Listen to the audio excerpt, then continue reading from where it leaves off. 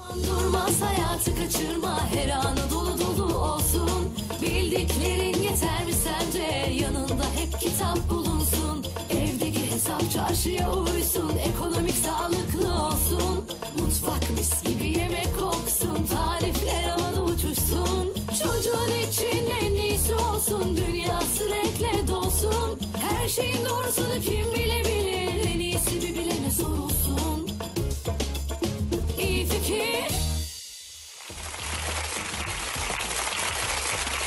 Merhaba sevgili seyirciler. İyi günler diliyorum sizlere. Huzurlu, sağlıklı günler diliyorum. İyi Fikir'de bugün yine harika başlıklarımız var. İlerleyen dakikalarda sıcak taş masajı yapacağız. Hiç duymuş muydunuz bilmiyorum ama sıcak hemen hepimize iyi gelir. Zaten doktorlar da birçok konuda öneriyorlar ama bu kez masaj taş ile yapılıyor. Bunu öğreneceğiz. Vücutta nerelere uygulanır, nasıl bir fayda sağlanır diye. Elvan Odabaşı da gelecek. Elvan Oda başından bugün rica ettik lütfen dedik ödemimiz var sabahları kalkıyoruz 50'ler şiş 100'ler şiş nasıl atabiliriz diye özellikle 10 besin önerecek ki bizlere ödemi atalım. Öncesinde e, havalar da soğudu ve soğuk algınlığı baş gösterdi. Fakat farkındasınızdır. Gidiyoruz doktora. Önce soğuk algınlığı fakat sonra zatüre teşhisi de konuluyor. E, ve maalesef yoğun bakıma kadar giden süreçler bile olabiliyor. O yüzden zatüreyi konuşalım dedik. Profesör Doktor Ali Metin Görgüner göğüs hastalıkları uzmanını davet ettik. Ve hocam şimdi stüdyomuza gelecek. Bakın neler konuşuyoruz. Dudakta çıkan uçuk zatüre habercisi mi? Zatürenin belirtileri neler? Geçmeyen inatçı öksürükler için ne yapılmalı? Göğüs hastalıkları uzmanı Profesör Doktor Ali Metin Görgüner'den çok önemli uyarılar. Hocam hoş geldiniz. Nasılsınız? Teşekkür ederim efendim. İyiyim. Sağ olun. Siz nasılsınız? Biz de iyiyiz. Ee, bu zatüre meselesine biraz kafayı taktık çünkü da- Dünya Sağlık Örgütü'nün verileri hakikaten korkutuyor. Her sene 100 kişiden 1 ila ikisi zatüre ve Sağlık Bakanlığı'nın verilerine göre de her sene yaklaşık 90 bin zatüre vakası bu hastalardan 2-3 bini de maalesef hayatını kaybediyor diye. Zatüre nasıl bir hastalık? Şimdi her şeyden önce zatüre e, solunum yolu akciğerlerin iltihaplı bir hasta, mikroplarla olan e, iltihabi bir hastalığı. Tabii bu e, iltihaplı hastalık için bakteriler, virüsler, parazitler e, bunlarla ortaya çıkan bir hastalık bu. E, ama e, özellikle e, bakterilerin e, oluşturduğuna biz zatüre diyoruz. Şimdi bu e, grip al, grip ya da soğuk algınlığı daha çok bunlar virüsler, virüsler tarafından oluşturuluyor. Şimdi burada aslında şu şu nokta çok önemli. Şimdi e, bu az önce siz de e, söylediniz. Genellikle e, grip soğuk algınlığı grip e, şeklinde geldi. E, bunların çoğu bunlar virütik hastalıklar esasında virüsle ile olan hastalıklar. Ama bunlar tabii son e, yıllardaki e, virüsler gerçekten biraz karakter de değiştirdi. Ben hep böyle Evet, söylüyorum. çok inatçı virüsler var. Çok inatçı virüsler var. Dolayısıyla bu virüslerle başlıyor önce bu soğuk algınlığı şeklinde. Ama tabii organizmanın e, tabii birçok faktör var. Arkasından bu virüsün biraz direkt kendisi zatüre yapabileceği gibi bazen de arkasından işin esasında bu e, aslında bu bir de soğuk algınlığı sırasındaki virütik enfeksiyonlar esasında bunlar bulaştırıcı olabilir. Hocam Ama açıkçası... zatüre bulaşıcı değildir. Ha, Ha. Tamam ama şöyle bir itirafta bulunayım. Mesela e, ben soğuk algınlığı ve grip için çok da böyle doktora gitmeyi düşünmem. Evet. Ama zatüre dendiği zaman insan ürperiyor. Tabii. E, zatürenin belirtilerini bize anlatabilir misiniz? Şimdi tabii zatürenin çok e, şek- e, hafif formları, hafif şekilleri var, ağır şekilleri var. Yani bu e, işin esasında ilk e, zatüre başladığı zaman e, erişkinler, çocuklarda farklı da şekillerde de karşımıza gelebiliyor.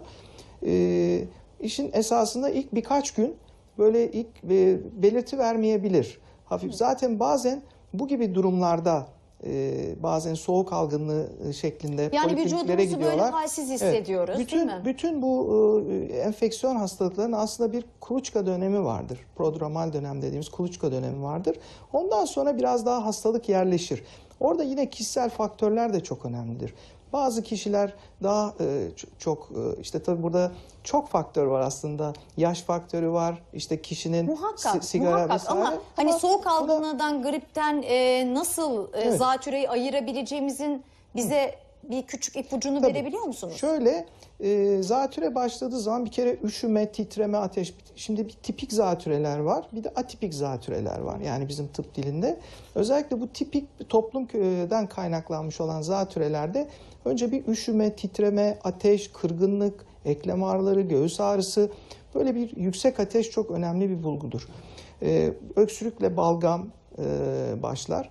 Özellikle bu öksürüğün, balgamın, balgamın karakter değiştirmesi, balgamın daha böyle koyu, iltihaplı gelmesi bunlar önemli e, belirtiler. Bu şekilde başlar ama giderek tabii solunum sıkıntısı, e, nefes almada güçlük, e, arkasından genel durum bozukluğu, işte hızlı bir şekilde ilerleyenlerde de bazen tansiyon düşüklüğü yoğun bakıma yatışa kadar Evet. gidebilir. Özellikle ileri yaşlarda zatüreye çevirdi mi tehlikeli Evet, derler. Evet. Özellikle çocuklarda biraz daha hani dikkatli olmak lazım. Çünkü çocuklar erişkinlerdekinden farklı olarak bunlarda e, ilk planda bir solunum sıkıntısı, özellikle bir e, hızlı solunum dikkat yani hızlı soluk alır. Çocuklar biliyorsunuz bebekler özellikle bunlar dertlerini de anlatamazlar. Bazen e, bir ateş e, birlikte hızlı solunum olması dikkat çekici olabilir. E, seyircilerimizden de sorular geliyor. Mesela diyor ki e, inatçı geçmeyen bir öksürüğüm var diyor. Acaba zatüre olabilir miyim? Yani öksürük de bir belirtisi midir diye soran olmuş. Evet. E, devam edeceğim yani küçük ve e, ileri yaşlardan da çok soru var. Ee, çünkü şöyle e, yani inatçı geçmeyen öksürük bir kere zatüre e, akut yani hemen ani başlar. Yani birkaç gün içerisinde şikayetler e, yerleşir ve e, ani başlar. Ama bizim inatçı öksürük dediğimiz özellikle böyle 8 haftadan fazla e, süren e, öksürükler tabii onların e, onlar polikliniklere çok sık geliyor aslında. Onların tabii çoğu zatüre değil. Bunların tabii Üç tane hazır yeri gelmişken cevap vereyim o zaman. Bunların en sık nedeni aslında e, sinüzitler, üst solunum yani e, geniz akıntısı. İkinci olarak e, çok enteresandır. E, özellikle reflü. E, bunu da çok sık görüyoruz. Ve üçüncü olarak da yine bu akciğer hastalıkları, işte astım gibi e, müzmin ast, e, bazı... Yani e, reflü de öyle sürekli öksürük yapar. Tabii reflü mi? de özel e, bilinen bir e, kronik öksürük, uzun süreli inatçı öksürük nedenidir. Ama zatüre daha gürültülü bir tabloyla başlar. Özellikle tipik zatüreler. Bir de bazen e, atipik zatüreler var. Bunlar biraz daha vücut direnci düşük olan insanlarda daha çok e, görülüyor. Bazı mevsimsel özellik de gösterebiliyorlar. Bunlar da daha çok böyle, e, böyle kuru öksürük, Bazen hafif ateş, halsizlik, kırıklık, karın ağrısı, baş ağrısı e, gibi semptomlarla da Böyle gelebiliyorlar. insanın göğsü ağrır ya göğsüme indi der riz hatta halk arasında. O göğsüme indiler zatüre oluyor mu yani onun Ee, bir belirtisi mi? Tabii özellikle e, göğüs a- göğsüme indi tarzında bir ifade kullanıldığı zaman eğer birlikte daha önce bir- biraz önce saydığım yakınmalar da varsa e, burada tabii zatüre konusunda e, önleyecek. Şimdi herkes zatüre herkeste olmuyor aslında. Yani buradan da e, şimdi zatüre için hazırlayıcı faktörler de var. Bunlar çok önemli. Mesela ileri yaş. 65 yaş ve yani 65 yaşından itibaren tabii risk başlıyor. 65 artık genç kabul ediliyor 60 yaş olarak ama 65 yaşın üstünden e, başlıyor risk. Onun dışında altta yatan hastalıklar da çok önemli. İşte bu e, bizim koah dediğimiz artık e, vatandaşımız da koahı biliyor ne olduğunu. Koah gibi işte şeker hastalığı gibi ee, ondan sonra böbrek, böbrek hastalıkları, özellikle müzmin böbrek hastalıkları, ee, en önemlisi şeker hastalığı da çok önemli. Ee, mesela felç geçirmiş hastalar, altta mesela e, zayıflama, bir bağışıklık sistemi zayıflamış olan hastalar. Bütün tabii böyle altta sigara içenler, çok aşırı sigara içenler, aşırı e, alkol tüketenler. e, bunların hepsi tabii hazırlayıcı faktör. Peki hocam bir haber çıkmıştı dudakta uçuk e, zatüre habercisi diye. Öyle mi? Ee, tabii dudakta uçuk e, aslında ilk görüldüğü zaman dudakta uçuk biraz vüc- e, bağışıklık sisteminin zayıfladığının bir göstergesidir. E, klinik pratikte özellikle zatüre geçirip de hani yatırdığınız hastalarda da böyle bazen dudaklarında uçuklar görebilirsiniz. Bir de e, zatüre olmadan bir kişinin dudaklarında e, uçuk oluyorsa O da vücut direncinin biraz e, zayıfladığının göstergesidir ki bu tip insanlarda zatüre riski yüksektir. Evet. Ee, zatüre aşısı varmış. Öyle bir şey duymuştum diyor Sema Hanım. Sema Köroğlu. Zatüre aşısı diye Var. Var. Şimdi şöyle, şimdi bu e, zatüre hastalığında tabii zatüre aşısı da var. Ondan önce grip aşısı da var. Şimdi e, biraz konuşmamızın başında da konuştuk. Aslında bu özellikle bu aylarda çok yoğun, ağır, e, geçmişteki yıllara göre çok ağır viral enfeksiyonlar yani virüs, e, grip salgınları görüyoruz. Ve bu grip salgınlarından hemen sonra da e, ağır zatüre biz bunları çok gördük. Hatta yoğun bakıma e, yatırılan ve hatta maalesef nadir de olsa kaybettiğimiz hastalar gördük. E, tabii burada e, her şeyden önce öncelikle zatüre aşısına gelmeden e, grip aşısı da çok önemli. Yani bu tip hastalarda e, özellikle işte ee, önce grip aşısının e, yıllık olarak yapılıyor grip aşısı. Her sene özellikle Eylül, Ekim, Kasım aylarında e, yapılması. E, bunu da biz genellikle uygun olan e, yani grip aşısı endikasyon olanlarda öneriyoruz. Ama esas zatürre aşısı bu grip aşısı gibi yıllık yapılmıyor. Bu e, genellikle e, hayatta bir ya da iki kere işte daha önce bizim e, eskiden kullandığımız bir aşı vardı. Bu bu çoğu kere çoğu hastalarda yapılmış oluyor. Daha önce onlardan yapılmış hiç yapılmamış olanlarda yeni e, şimdi aşılar çıktı. Sağlık Bunları- Bakanlığı 65 yaş üstü bireylere aile sağlığı merkezlerinde zatüre aşısının ücretsiz yapılmasını sağlıyormuş. Aynen öyle. 65 yaş üstü az önce bahsettiğim gibi artık grubu. riskin olduğu bir yaş. O yaştan itibaren e, zatürre aşısı öneriliyor. Şimdi bu zatürre aşısı sadece e, bunlarda değil. Yine bu şekilde bağışıklık sistemi normal olduğu halde işte koahlı, e, diyabetli, e, kalp hastalığı olan, işte bağış, bağış veya bağışıklık şeker hastalığı olan, böbrek hastalığı olan e, hastalarda. Onun haricinde yine bağışıklık sisteminin zayıfladığı hasta, mesela dalağa alınmış hastalarda, dalağa alınmış herhangi bir nedenle ya da bir bağışıklık sistemi sorunu olan hastalarda bütün bunlar işte 65 yaş üstü kişilerde bu e, zatürre aşısını biz öneriyoruz. Hocam Bununla ilgili bakabilir misiniz ekrana? Ha evet. Siz bu taraftan bakın isterseniz hocam. Ha, ra- daha rahat görürsünüz. Evet şimdi evet bu e, yani tipik olarak gördüğümüz bir e, akciğer grafisinde hani halkımızın e, baktığı zaman duman tarif ettiği e, yani bize göre sağ tarafta hemen bir e, yoğun bir e, duman görüntüsü var. Bu tipik bir zatüre görüntüsüdür. Yani bizim zaten zatüre tanısında e, O tanısı... duman neyin nesi oluyor yani? Şimdi bu duman e, oradaki akciğerlerin içerisinde bizim e, işte bronşlar ve bronşların e, küçük küçük dallana dallana bronşlar gider ve nihayetinde hepimizin bildiği gibi alveol dediğimiz kesecikler var.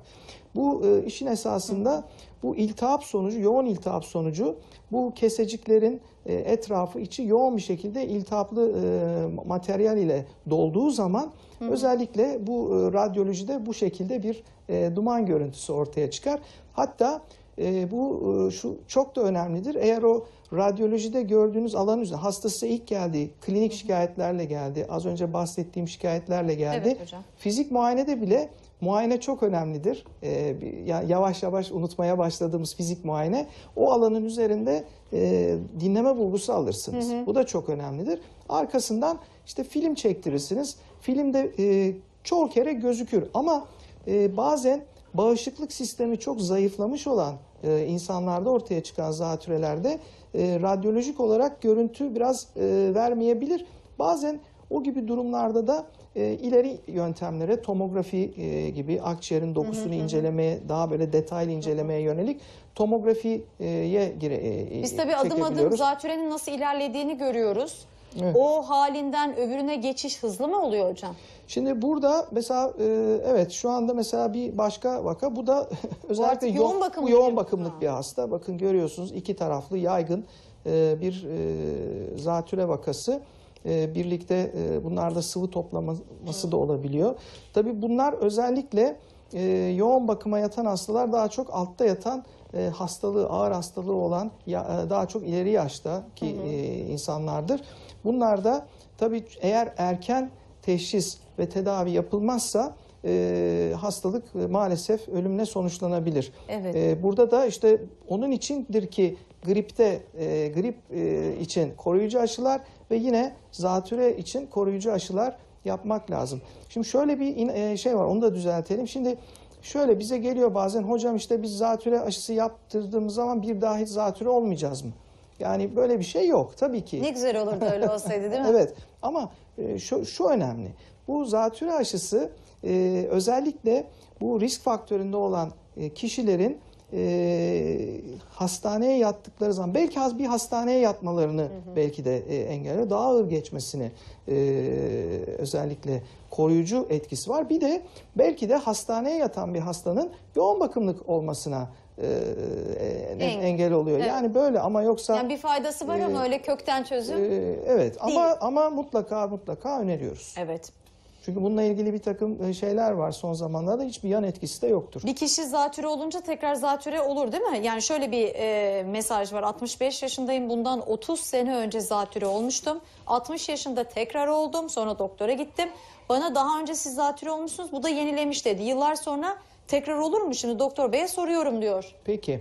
Şimdi tabii 30 yıl çok önceki çok önceki bir zaman, çok uzun bir zaman geçmiş. Tabii 30 yıl önce geçirilen zatürelerde e, geçmiş yıllarda geçiren, hele de böyle bir aşılamanın çok yapılmadığı dönemlerde geçirilen zatürelerde, ağır zatürelerde iyileştikten sonra bir takım oradaki bronşlarda kalıcı değişiklikler, bizim bronş ektazi dediğimiz bronşlarda kalıcı e, böyle biraz genişlemeler, akciğerin altyapısında bozukluklar olabiliyor.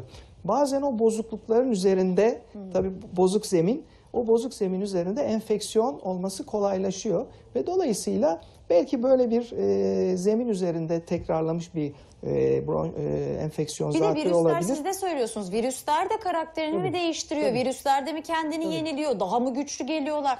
30 Tabii. sene önceki virüsle şimdiki Şimdi virüs de mi farklı? Burada çok e, şöyle bir şimdi aslında e, bu e, bu bizim dışarıdan bulaşma şeklinde değil.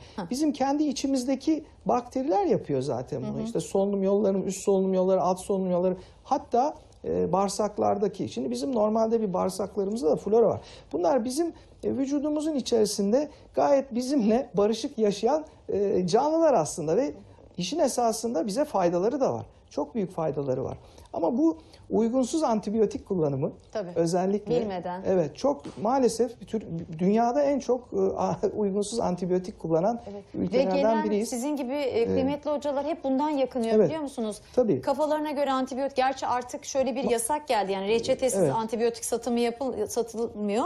Bir de e, en büyük hatayı şey söylüyor. 10 gün kullan diyor mesela doktor. Aa, kendimi iyi hissediyorum. 5. günde kestim. Böyle bir tabii. şey yok. Bunlar burada. çok e, tabii bu uygunsuz antibiyotik kullanımı bu floranın değişmesine ve e, özellikle bu e, mikropların daha sık e, zatüre e, yapmasına yol açıyor.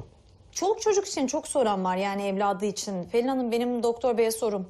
9 yaşında kızım var alerjik hastım fakat her grip olduğunda zatürreye yakın bir hastalanıyor. Ne demek istediğini bilmiyorum siz daha iyi şey yaparsınız. Akciğerleri sürekli enfekte oluyor. Her yıl grip aşısı yaptırıyoruz. Zatürre aşısı da yaptıralım mı uygun mudur ne dersiniz? Şimdi e, çocuklarda şöyle tabii sağlık e, sağlıklı çocuklarda bir kere grip sağlıklı çocuklarda grip aşısı önerilmiyor ama hastalık varsa yapılıyor.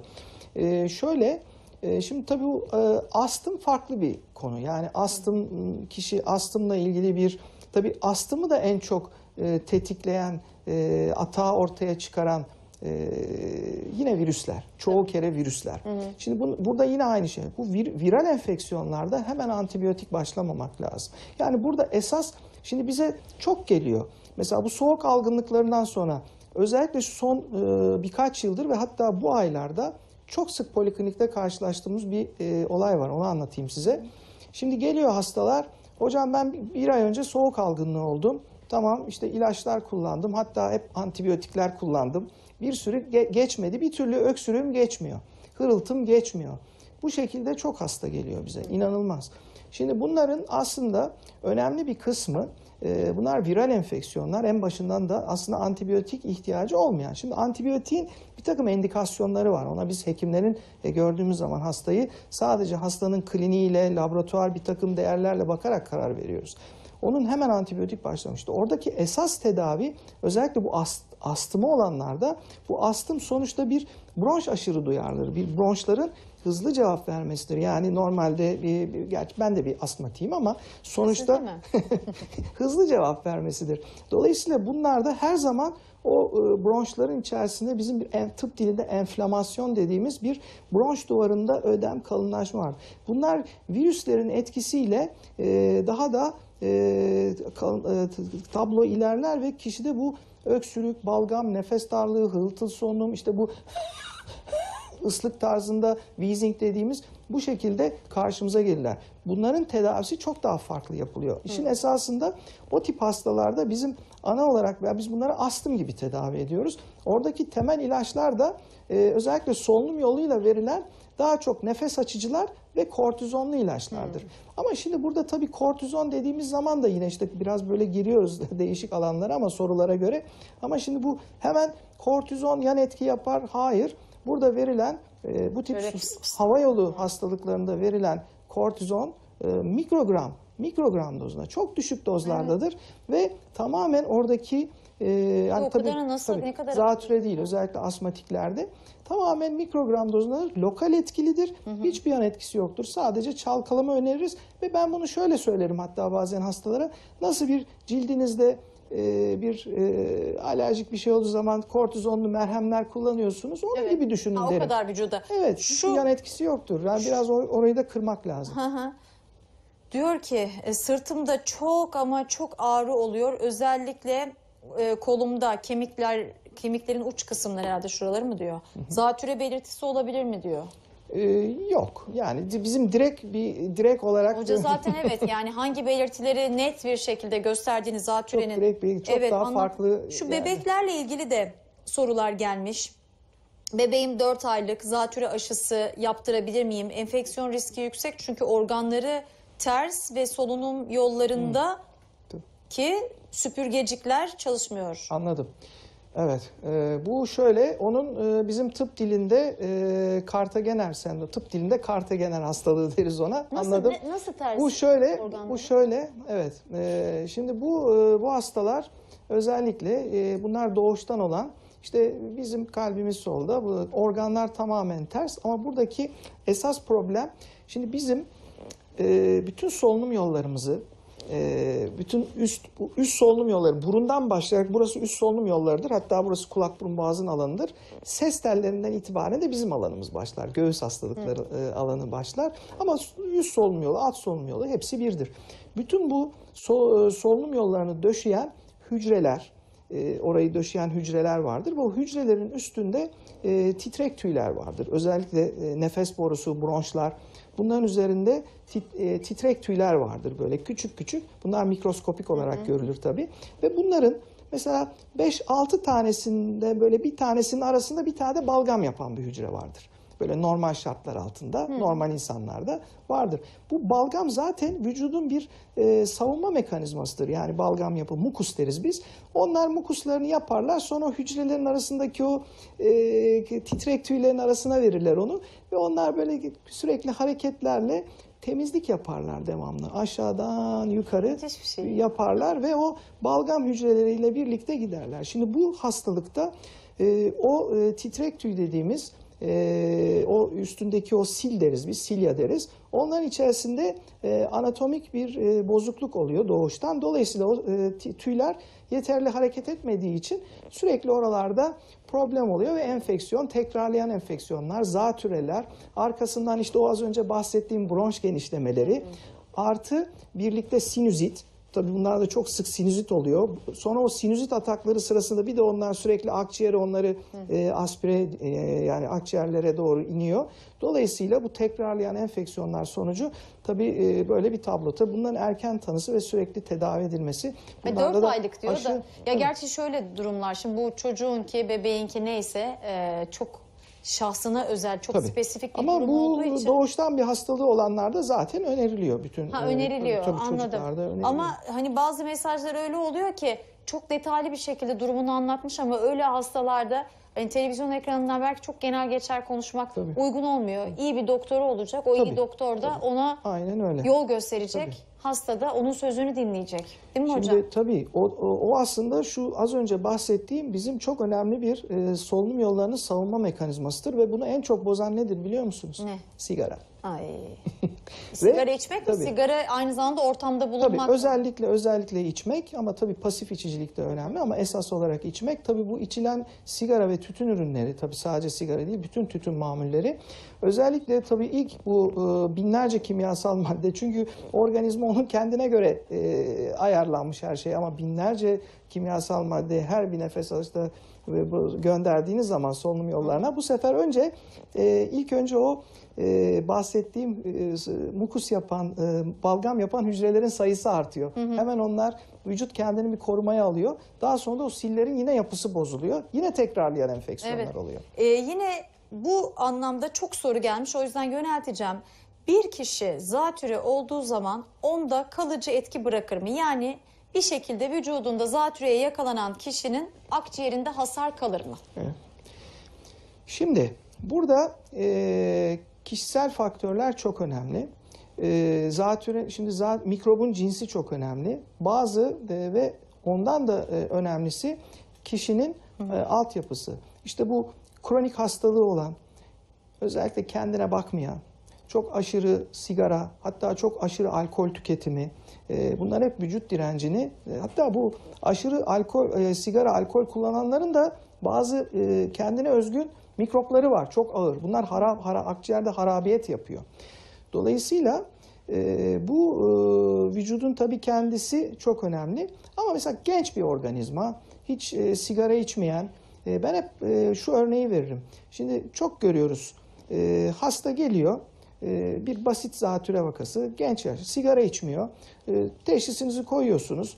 Mesela bazen çok aşırı soğukta, soğuğa maruz kalma, işte bir yerde e, üşütmüş, çok soğuğa maruz kalmış.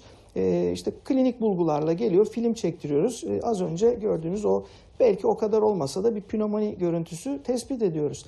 Ondan sonra onu normal zaten elimizde son derece hala değerli antibiyotikler var. Güzel cevap veriyorlar. Bunlarla çok güzel cevap veriyor. Ama bu bir normal genç, sigara içmemiş, kendine bakmış. Bunlarda hiçbir problem yok. Hatta ve hatta ben bir süre Erzurum'da, uzun yıllar Erzurum'da e, e, üniversitede çalışırken bu e, çok dikkatimi çekerdi. E, bu Artvin taraflarından e, yaylalardan yaşayan insanlar olurdu. Çok bunlar ile 80-90 yaşında. Bazen böyle tesadüfen zatürre, sigara içmezler, köyde yaşarlar, sağlıklı beslenirler. Bazen böyle zatürre olurlardı, gelirlerdi. Hatta çocuklara derdim ki asistanlara bakın çok çabuk iyileşecek bu. Gerçekten de bu 90 yaşında olmasına rağmen ee, yani tamamen doğal beslendiği için, sigara içmediği için, e, atla çok ciddi bir akciğer hastalığı olmadığı için hızla hiçbir sekel bırakmadan iyileşirler. Ama eğer altyapı bozuksa, sigara içiyorsanız, altta yatan bir hastalığınız varsa, geç kalmışsanız, tedaviye uyumsuzsanız, e, tabii hastalık ilerlemişse, yoğun bakımlık olmuşsanız tabii ki hastalık iyileşirken e, bronşları, bütün o akciğerin yapısını bozarak iyileşiyor ve dolayısıyla hasarlar. Ama yine de bu kalıcı hasarda bile korkmamak lazım.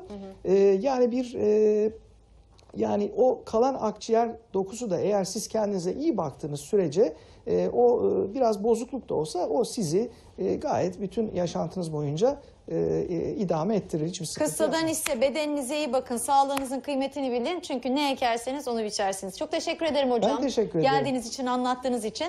Ve iyi fikire devam ediyoruz. Ben hocayı uğurlarken doğal taş masajı konuşacağız şimdi. Görüşleriniz ve fikirleriniz bizim için çok değerli. İyi fikirlerinizi yazın.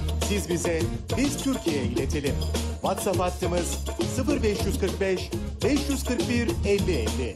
Telefon numaralarımız 0212 259 70 90 0212 259 70 91. İyi. Kasları gevşeten, ağrıları azaltan, stresten arındıran sıcak taş masajı nasıl yapılıyor? Vücutta nerelere uygulandığında fayda sağlıyor? Doğal terapiler uzmanı İpek Çaldemir Çalışkan canlı yayında sıcak taş masajı yapacak, merak edilenleri anlatacak. İpek Hanım hoş geldiniz. Hoş bulduk. Nasılsınız? Teşekkür ediyorum sağ Ve- olun. Elif Hanım diyeceğim de o kadar gencecik güzel. Elif'ciğim hoş geldin. Evet canım. Ee, İpek Hanım ben hiç sıcak tas... Yani evet böyle bazen fotoğraf olarak hatırlıyorum insanların bedenlerinin üzerinde ama... e, böyle uygulanabildiğini bizde de var olduğunu bilmiyordum. Evet var uzun yıllardır. Enteresan. Ne Tabii. işe yarıyor? Nasıl oluyor? Ee, sıcak taş terapisi burada gördüğünüz lav taşlarının ısıtılarak e, bedene masajda uygulanması. Ha bu özel bir taş, herhangi bir bazalt. taş değil. Tamam. Bazalt sert e, lav taşları. E, bunların bir takım özellikleri var. Birincisi ısıyı çok yavaş ve güzel alır ve çok yavaş ve güzel verir. E, o yüzden masajda harikadır. E, ikincisi de çok sertler. Dolayısıyla bir takım böyle e, vibrasyon hareketleri yapabiliyoruz birbirlerine çarptırarak. Aa. Ve masajda çok etkili oluyor.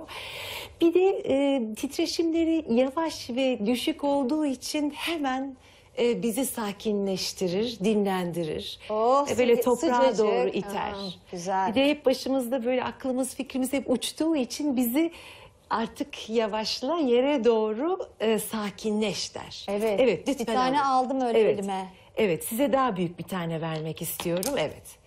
Evet, onu kullanacağım çünkü. Şu formda ama açık gri olan neredeyse şu formda ama daha açık gri olan taşları bazen bulabiliyoruz sahillerde. Evet, Biz evet. onları alıp uygulasak mı? Uygulayabilirsiniz tabii. Bunlar e, bunlar da dere yataklarından toplanılmış bazalt e, taşlar. Ha dere yataklarını biz bunu bulabiliriz. bulabilirsiniz. Tamam. E, e, bunlar e, şeyin içerisinde, büyük kazanların içerisinde yumuşatılması için e, döndürülüyor. Tamam. E, siz bana sorarken ben isterseniz Olur, e, olur. hemen e, bu tarafa doğru bir uygulamada e, başlayayım.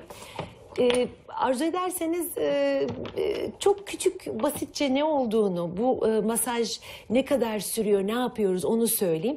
Bir kere uzun süren, 75 dakika süren bir masaj. E, ve 54 tane taş kullanıyoruz bunun için. E, büyükten küçüğe kadar böyle bir takım enerji merkezlerine de yerleştiriyoruz. Parmak aralarımıza da yerleştiriyoruz. Ben bu uygulamaları yaparken sizin sorunuz varsa e, öyle devam edelim. Şunu Ee, çıkarmam lazım. Konunun çünkü. aslında ne kadar ciddiyetle yaklaşıldığı ve e, nasıl noktaların özellikle belirlendiği sizin 54 sayınızdan belli. Hani 50 Evet. civarı koyuyorum, 40 tane Yok. koyuyorum, Allah ne verdiyse koyuyorum, ne kadar Yok. sığarsa koyuyorum değil. Yok. 54. Evet. Neye göre 54'ü E, belirlediniz? çünkü e, e, bunlar tabii e, e, yani yaratılan sistemler e, bir Amerikalı bayan tarafından yaratılıyor. E, e, omurganın sağına ve soluna konan 12 taş vardır. Enerji merkezlerine konan 7 taş vardır. İşte böbreklere konan 2 taş vardır. Göze konan 2 taş Ay, vardır. göze de koyuyoruz. Tabii masaj yaptıktan sonra ellerin içerisinde tutulan 2 taş vardır. Ayaklara kullanılan 9 taş vardır gibi e, bir e, anne bir baba taş vardır böyle kocaman olanlar. evet. E, Dolayısıyla 54'ü buluyor ve e, çoğunluğu da kullanılıyor. Aslında biz sıcak taş diyebiliyoruz. Bunun bir hocamızın bize öğrettiği şeye göre termoterapi yani vücutta ısının e, sıcak ve soğuk kullanımıyla kan dolaşımını hızlandırma yöntemi de kullanılabiliyor. Orada e, bu- buzdolabında tuttuğumuz e, e, şeyleri mermer taşlarını da kullanabiliyoruz. Onu bugün getirmedim. Çok keyifli değil uygulamalarda. O yüzden hep sıcağa dönülmüş. Tamam. O sanki yazın keyifli olabilirmiş gibi geldi bana. evet. Evet. Ee, normalde e, tabii ki masajımıza başlarken e, e, arkadaşımız 12 tane sıcak taşın üstünde yatıyor. Ha şu anda Ee, bedenin altında 12 Altında taş 12 var. sıcak taş var. Ee, biz bedeni bir e, sıcak taşların arasında bir sandviç gibi e, Sıkıştırıyoruz. sıkıştırıyoruz. Ondan sonra da e, masaj uygulamalarına başlıyoruz. Ben burada hemen uzatmadan e, taşlarımızı çıkartayım ve Peki dizmeye vücudumuza başlayayım. herhangi bir şey sürüyor muyuz? E, Bu aşamada değil ama biraz sonra ayaklardan bir uygulamaya başlayacağım. O zaman göstereceğim size. E, anne taşımızı karın bölgesine koyuyoruz ve çok e, güzel sıcacık hemen karın bölgesinden bütün vücuda yayılan bir ısıyı hissediyoruz. E, bu koyduğum noktalar genelde enerji merkezleri e, diyebiliriz. Enerji merkezleri tabii belli organ ve sistemlere bağlı olduğu için bu ısı hemen vücuda yayılır e, ve dinlendirmeye başlar. Elif'cim hissediyor musun? Elif küçücük olduğu için taşlar e, biraz büyük geldi ona. Olsun şöyle yapalım. Şuradan da kaymasın Elif. Şöyle yapalım. Evet. E, bir de böbrek e, veya yumurtalık dediğimiz arkada böbrek önde yumurtalıklara da konulabiliyor. Bu e, bayan erkek fark etmiyor. Elif'in altındaki taşlarda yine böyle mi dizildi? E, y- e, omurganın sağına ve Ha, şöyle soluna sağlı sollu. evet Tamam. evet iki hat şeklinde bir de en son şu baş bölgesine de şey gelebilmesi için yani üçüncü gözümüze diyebiliriz ama e, başa e, ve o zihine bir rahatlık vermesi için küçük bir taş koyduk. Şimdi e, bir uygulama yapabiliriz. Genelde ayaklardan başlıyoruz. E, yine burada küçük taşlarımız var. Evet. Biz evde bu taşları dere yatağında misal bulduk eve getirdik. Benzer bir şey uygulamaya heves ettik. O zaman taşları sıcak kaynamış suyun içine mi atıyoruz? Ee, şimdi biliyorsunuz sıcak e, tehlikeli bir şey. Ee, bu ne kaç dereceye kadar ısıtılıyor diye soru olabilir. Ee, taşlar 40 dereceye kadar ısıtılır. Burada biraz daha ılık tuttuk çünkü uygulamada sıkıntı olmasın diye. Terapi esnasında biz onları soğutabiliyoruz. Tamam. Ama buradaki uygulamada biraz daha ılık tuttuk. Normalde benim elimi rahatlıkla içine sokabileceğim sıcaklıkta ama Evet. sıcak yani sıcak. Evet, Ama kaynar değil. 40 derece e, elinizi çok uzun tutamazsınız. Anladım. 40'ın içinde o e, ayarda e, ısıtıyoruz. E, evde tabii uygulanılmak istenilirse niye olmasın ama kaynar sudan değil de ılık suyla yaparlarsa bu uygulamayı ben bazen şey diye tanımlıyorum. E, sahile gittiğimizde kumsala uzandığımızda o böyle taşları topladığımızda üstümüzü kumla kapladığımızdaki o e, Aa, sıcaklık tabii vardır duygusu ya vardır teyzeleri ya. özellikle kumun içine gömerler. Evet, evet. Ben e, çok küçük e, e, bacaklarımızdan ve ayaklarımızdan bir uygulama göstereyim size. Ne E, sürüyorsun? Burada şu anda e, tamamen e, bitkisel bir fındık yağı e, ülkemizin en değerli yağlarından biri. Onlardan e, sürdüm azıcık. E, sıcak taş e, terapisinin şöyle bir özelliği var. Masajda çok yoğun e, hareketler yaparsınız, ovmalar yaparsınız ki o bölgeye sürekli e, kan ulaşsın, sirkülasyon artsın rahatlama, dinlenme, e, e, ağrılar, spazmlar çözülsün istenilir.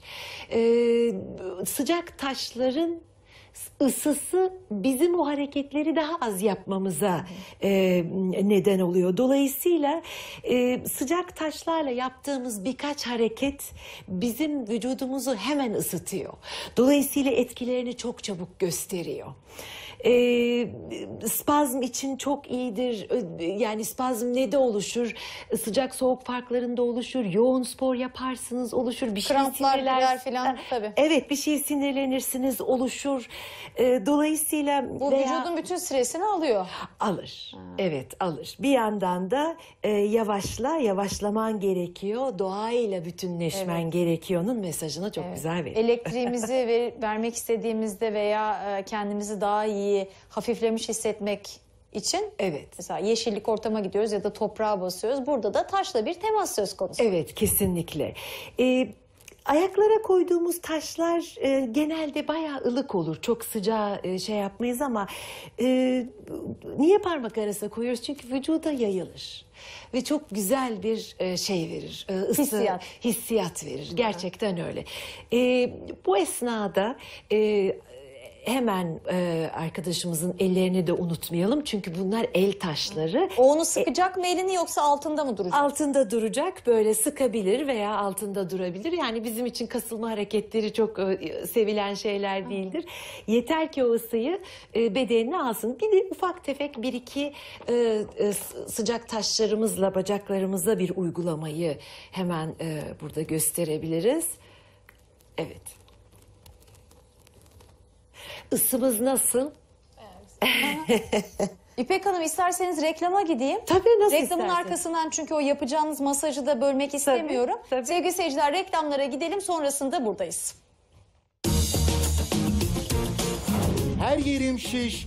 Ne yapsam vücudumdaki ödemi atamıyorum diyenler ekran başına. Ödem neden olur?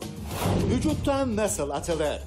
Ödem söktürücü 10 besin ve ödem attıran tariflerle diyetisyen Elvan Odabaşı iyi fikirde. Protein diyetleri, ketojenik diyetler, yok alkali diyetler bunlardan lütfen uzak durun. İyi fikir, iyi fikir. Evet sıcak taş terapisi, sıcak taş masajı. Elif gördüğüm kadarıyla çok rahat, huzurlu bir şekilde yatıyor. Vallahi bayıldım dedi. Reklam arasında konuştuk sevgili seyirciler.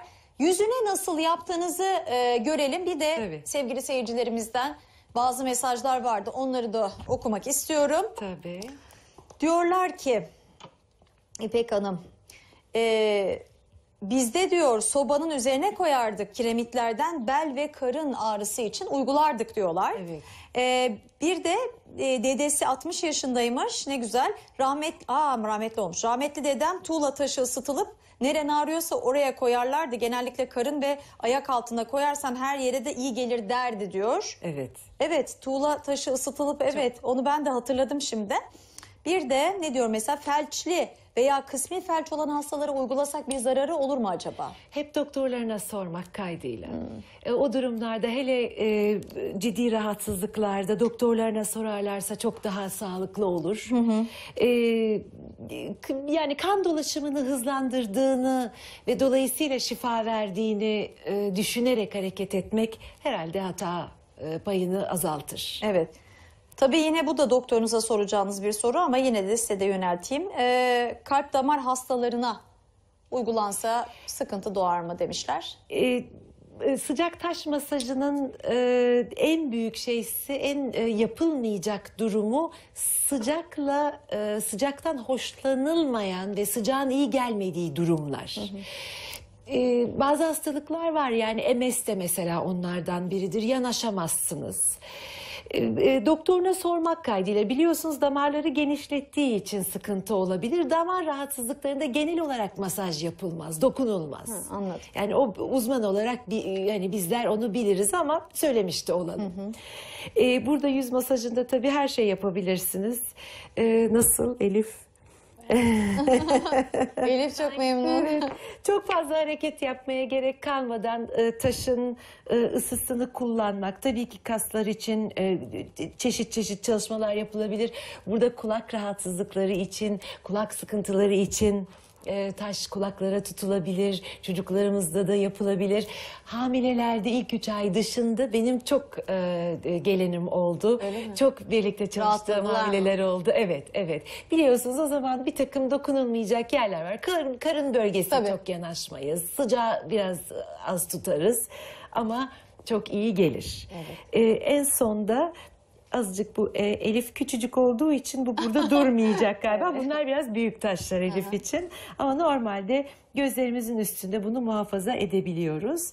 Ee, ben bir de çok küçük istiyorsanız burada bir kolda nasıl uygulanabilir onu göstereyim size. Şuradan özür dilerim taşlarımı Elif'in ensesinde de daha doğrusu tam böyle hani sırtının başladığı Boynuna, yere de evet. boynuna Boynuna mı? Evet, tam Boynun boyun- sanki biraz altına gibi değil Evet, mi? Bir taş koydular. koydum, Evet. Evet. Ee, yani biliyorsunuz boyun sıkıntılarımız, stres, e, Şuralar tutulur. diye hemen ilk yaptığımız şey ve baş ağrılarımızın e, ana kaynaklarından bir tanesi. Stres hayatımızın en büyük e, sorunu. O bölgeye bir tane e, taş koyduğunuz zaman e, mucizeler yaratır. E, taşları tabii çok doğrudan böyle pat diye yapıştırmadığımız için birazcık vücuda alıştırmamız gerekiyor. Ondan sonra da ısısını ayarladıktan sonra e, masajımızı yapabiliriz. Burada tabii kollar, omuzlar, vücudun aklınıza gelebilecek yorgun her yerine bu e, sıcak taşlarımızı e, uygulayabiliriz. Yani izleyicimiz, izleyiciler biz bunu nasıl yapacağız e, sorusu mutlaka akla geliyordur ama ısının kullanılmasını hatırlamaları pek hoş. E, çok yoğun olmamak kaydıyla. Biraz önce dediğiniz kiremitleri ısıtma, taş ısıtma, biliyorsunuz havluları ütüler koyarız karnımıza. E, çok çok iyi gelir. Biz burada yayında olduğumuz için mi havlunun üzerine taşı koyduk? Normalde yani bedenle birebir mi temas ediyor taş? Ee, hayır, Ee, bu durumda doğru. Araya mutlaka bir e, katman gerekiyor çünkü taşları bir hayli ısıtıyoruz. Dediğim gibi 40 derece cildimiz onu kaldırmaz. Ee, e, ama masajı yapacağımız bölgelerde ise onun ayarlamasını taşları soğuta soğuta veya bedenin kaldırabileceği dereceye getirene kadar e, dikkat ediyoruz. Tamam. E, masajımızı e, yaparken taşlarımızın işi bittiği zaman e, en güzel tarafı da taşlarımızı hemen e, vücudun e, e, e, kenarlarına sıkıştırabiliyoruz. Dolayısıyla sürekli o ısıyı beden e, alabiliyor. Hı hı, güzel. Ne haber? Şu anda Elif'in yerinde olmak isterdim diye yazıyorlar. Evet. Evet. Ee, sıcak taş e, masajı aslında e, çok e, e, hoş bir e, bayan tarafından yaratılıyor. E, kendisi Arizonalı. E, ben de şanslı öğrencilerinden bir tanesiydim onun eğitimini e, alan. E, çok enteresan ritüellerle yapıyordu. E, fakat tabii zaman içerisinde sıcak taş terapisi spa ortamlarımıza çok girdi. Çünkü çok teferruatı var gördüğünüz gibi. Her yerde e, buna ulaşmak çok kolay değil ama çok etkili. E, ısının kullanılması özellikle e, yoğun... Ve bizde hamam kültürü var. Hamam Ah, ne kadar sıcak? Evet. Evet mermerlerin üstüne biliyorsunuz o sıcak mermerin üstüne yatmak onların hepsi e, doğal şifa termoterapi ısının e, şifa için kullanılması sıcak taş terapisinin de en büyük özelliği e, kanın gittiği yeri iyileştirmek. E, koştura koştura kaplıcalara gidiyoruz değil mi? Evet. E, orada suyun da etkisi var. Orada suyun da etkisi var, Suyun aynen öyle. iyileştirme gücü var. Evet. Ee, Peki ayakları masajda şimdi bunlar böyle kaldı. Onun Evet. haricinde e, ayak tabanına Yapılıyor yapacak tabii mıyız, tabii. koyacak mıyız? Ee, isterseniz tabii ben bu esnada e, Elif'i boş bırakmamak için birkaç tane taş sıkıştırmıştım buraya üşümesin diye. Ee, bu taşlardan sonra tabii belli bir rutini var. Ee, burada daha rahat gösterebilmek için e, biraz e, diğer yerlere geçtik ama tabii çok rahat e, ayaklara da özellikle e, ayak tabanları biliyorsunuz bizim bütün yükümüzü kaldırır. E, o yüzden e, çok güzel e, di- dinlendirir, rahatlatır, bizim bütün sıkıntımızı e, alıp götürür diyebilirim. E, refleksoloji noktalarına dahi e, taş e, uygulayan uzmanlar var. Bir takım noktasal hareketler e, yapabiliyorlar ama e, bunda biz daha çok ısıyı doğrudan kullanıyoruz. Ne haber? Bence Elif uyumamak için kendini zor tutuyor. Ne yapıyorlar peki bu masajdan, bu terapiden sonra e, kalktıklarında böyle nasıl hissediyorlar, nasıl tepkiler veriyorlar? E, Uyuyakalan oluyor mu mesela? Çok. Çok masajda e, do- doğru ve güzel yaptığınız takdirde, temasınızı kesmediğiniz takdirde çok güzel sonuçlar alırsınız. İnsanlar derin dinlenmeyi, dinlenmeyi e, unuttu ve onu e, becermek için bir aracı olarak masajı kullanmak çok e, güzel bir şey. Çünkü derin dinlenme bizim iyileşme gücümüzü ortaya çıkartıyor. Doktorlarımızın en çok söylediği şey. E, masaj sonrasında özellikle sıcak taş masajından sonra başları çok dönüyor. E, böyle yerde miyiz, havada mıyız, nasılız? O, o aradaki o öforik duygu deriz biz ona. Enteresan bir hissiyat olsa gerek. Enteresan bir hissiyat olur ya. Ayaklarımız yere basarken farkındayız ama bir yandan da böyle bir uçar gibi hissederiz. o çok güzel. O, o aslında tam şifa enerjisidir ve çok çok iyi. Demek ki hakikaten insanı hafifletiyor. Evet. Yani duygusal olarak da böyle hafifletiyor, iyi geliyor. Belki o esnada o sıcakla birlikte ya da taşa temas ederken Evet. böyle aklındaki e, kafasını karıştıran o sevimsiz fikirler uçuyor gidiyor. Aa kesinlikle. Müzik de veriyor musunuz? Öyle bir ortam düşündüm ben. Tabii tabii Ha? tabii. Özellikle e, terapilerde e, müziğin de çok büyük etkisi vardır. Tabii dinlenmek için. Beş duyu. Beş duyuya hitap ettiğiniz e, takdirde tabii ki bunlardan bir tanesi tat ama hiç olmazsa koku. E, aromatik yağlar kullanabilirsiniz. Müzik, ışık. Ee, çok çok etkili. Loş bir ortamda muhtemelen bizim Evet. stüdyodaki gibi Evet. aydınlık olmasa gerek. Evet. Bir seyircimiz de e, yılancık taşından bahsetmiş herhalde onlar öyle mi yapıyordu acaba? Onunla mı yılancık taşıyla olur mu? Hiç bilmiyorum yılancık taşının ne olduğunu. Bir hata yapmayayım. Yılancık taşı da aslında form olarak biz böyle bir iki kere taş programı yapmıştık oradan ben de biliyorum. Form olarak şöyle bir taş Evet. böyle ortasında da daha açık gri ve ortası böyle dönerli gibi bir taş. Herhalde aslında benziyor da. Evet. Ama ideali bu diyor. Dere yataklarında vardır diyor. Neydi bunun adı? Ee, bazalt. Bazalt. Bazalt neden e, Pelin Hanımcığım e, şey e, ısıyı çok iyi tutuyor. E, istediğiniz her çeşit e, e, sert taşla yapabilirsiniz. E, size şeyi gösterecektim. Bunu bir kullanma şeklimiz daha var demiştim hatırlarsanız. Size her taşla yapamazsınız bunu. Diyelim ki e, özellikle e, daha geniş kaslarda bunu yapabiliyoruz. Sırtta mesela. E, bu vurma hareketini her şeyle yapamazsınız taşla. Biraz gürültü yaptım ama bu vurma hareketi müthiş bir vibrasyon yapar. Ultrason gibi alt katmanlara kadar e, etki eder. E, dolayısıyla taşların sert olması gerekiyor. Sert olan her Taşı taşı- taşa vuracağız Evet. ve vücutta bir titreşim hissedeceğiz.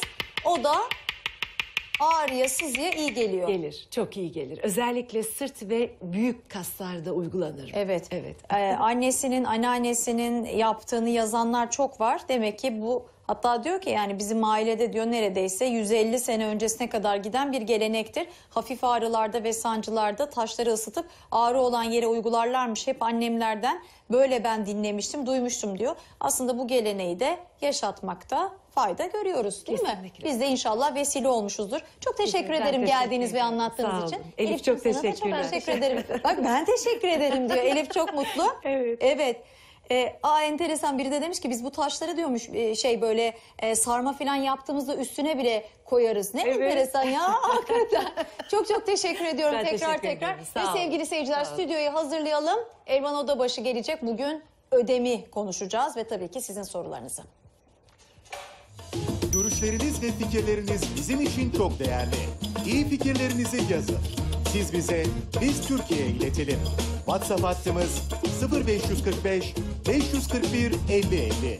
Telefon numaralarımız 0212 259 70 90 0212 259 70 91. İyi fikir.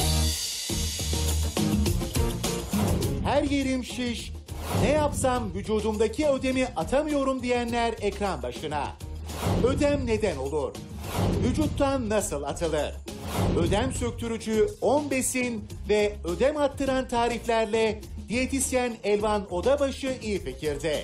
Protein diyetleri, ketojenik diyetler, yok alkali diyetler bunlardan lütfen uzak durun. Evet mutfağımıza geldik. Elvan Odabaşı hoş geldin şekerim. bulduk. Bugün pek bir sportifsin. Evet bugün sportifim çünkü konuyu ödem olunca benim de ayaklarımın şişesi tuttu diyeceğim şimdi. Gerçekten mi? Dün akşam saat tabii bir etkinliğim vardı dün akşam e, bizim ofiste. E, saat bir buçuk iki gibi uyanınca şey uyuyunca sabah bir kalktım topuklu ayakkabıya ayağımı sokmaya çalışıyorum olmuyor. Ay, olmuyor dedim ki bugün de spor ayakkabıyla çıkacağım konuyu hissederek anlatayım ekstra Evet. diye. Hakikaten öyle olur. O Evet. uykusuzluktan mı kaynaklı? Neye Evet, şişiyoruz? uykusuzluktan kaynaklı. Mesela sabahleyin e, ödemim varın ilk e, sorusu kendinize dün akşam ne kadar uyudum? Bir onu değerlendirin bakalım. 6 saatin altında uyuyanlar sabah kortizol seviyeleri daha yüksek uyandığından kaynaklı vücutları daha şiş. Nereler şişiyor? Göz kapakları şişiyor, göz altları şişiyor, yüzükler parmakları olmuyor, ayaklar şişebiliyor. Bunlar önemli ama tabii bu ödemin altında sadece uykusuzluk yatmıyor. Hani beslenme davranışınız önemli ama diğer taraftan tiroid problemi olabiliyor. Kişinin mesela Hashimoto tiroidi oluyor. O Hashimoto zaten isim de oradan geliyor. Yüzü böyle yuvarlak bir şekilde, gözler yuvarlak, böyle alt üst torba şeklinde oluyor. Mesela tiroid problemi yani hormonal problemlerde de yine ödem problemi yaşayabiliyoruz. Bir de damarla ilgili yaşadığımız problemler. Mesela kalp damarla ilgili bir e, sorununuz varsa, tansiyon probleminiz varsa, ailede kalp damarla ilgili bir öykü varsa, en basitinden görünür bir varisiniz varsa o ayakkabı, ayakkabılar ayağınıza dönem dönem asla olmuyor zaten. Ve onun da önüne geçmek gerekiyor. Evet, bugün ödem atıcıları konuşacağız. Evet. Bu ödem atıcıları e, nasıl düşünelim? Yani yedik içtik bir saat içinde indirir mi? Ya şeye çok üzülüyorum sadece onu söyleyeceğim Pelin. Hani böyle herkes hani bir kilo iki kilo fazlasını hep ödem olarak tanımlıyor. Sabahleyin kalktım tartıda bir kilo fazla çıktım benim ödemim var. Ve gerçekten bakın bir gün önceden bir gün sonraya böyle bir kilo değişimi varsa ve bu sıklıkla karşınıza çıkan bir tabloysa mutlaka bir endokrin uzmanıyla görüşün. Yani hani bir kilolar, üç kilolar değişimler altında ciddi bir sağlık sorununu barındıran bir ödem şikayetinin göstergesidir. Onun için mutlaka hekimden görüş almak gerekiyor.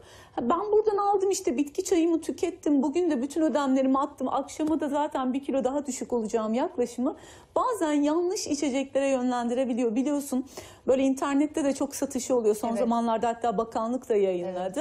Çünkü hep o noktadan geliyor. Biz şunu ayıramıyoruz. Şişmanlık mı, şişkinlik mi? Evet. Yani hani ben şişman yani kilo problemi mi yaşıyorum yoksa benim kilolarım sadece bir ödem mi diye düşündüğümüz oluyor. Ama kilo ile ilgili en fazla ödemle ilgili yaşayacağınız değişim yani tartıda kilonuzun yüzde biriyle yüzde beşi arasında. Bu da şöyle düşünelim 500 gramla 3 kilogram arasında vücudunuz ödem yapabilir. Ee, mesela ben işte 63 kiloyum. Ee, bu sabah kalktığımda 600 gram fazladan ödemimin olması normal aslında. Çünkü az uyudum.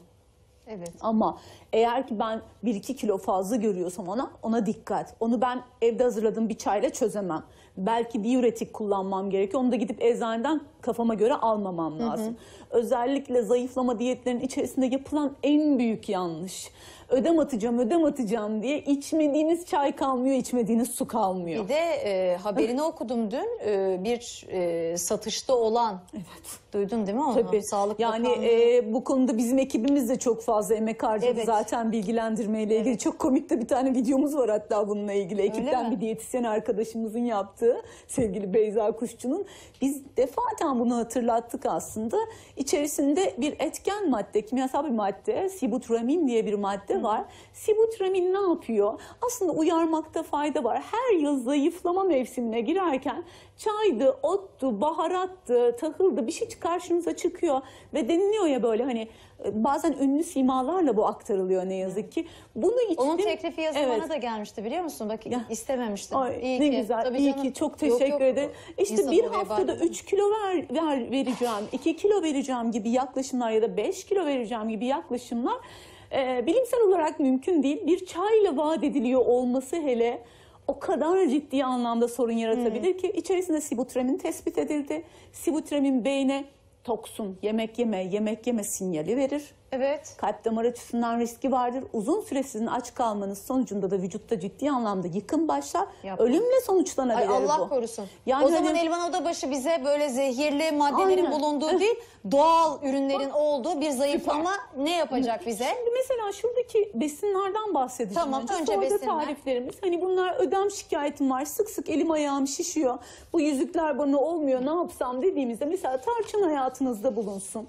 Önemli. Karanfiliniz hayatımızda bulunsun. Ama bunları güvenilir yerlerden alın. Paketli olsun. Tamam. Diğer taraftan rezinimizde, biberiyemizde mesela bu biberiyenin kuru hali. Bir de bunun böyle taze hali var. Ben mesela sabahları tiroid hastası olduğumdan dolayı bir şişe e, e, suyun içerisinde bir dal biberiyem vardır. Çünkü sabah hep şiş kalkarım ben zaten. Göz Güzel. hep şiş kalkarım. Onun için erken kalkıyorum ki e, gün başlayıncaya kadar vücudum o ödemi de atsın.